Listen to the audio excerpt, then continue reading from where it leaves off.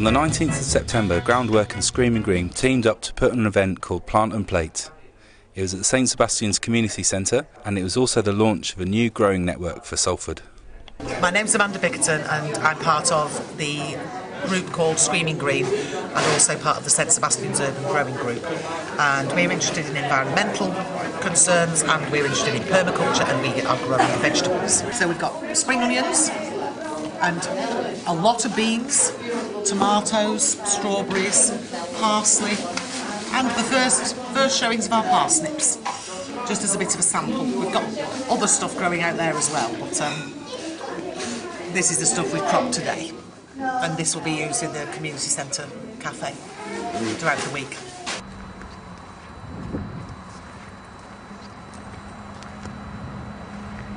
The, the normal way to start is to buy a hive, is to buy a colony of bees off another beekeeper, and you'll pay about 120 pounds for a colony of bees, and then you've got to buy a box or two for them to live in. How, how many bees would that be?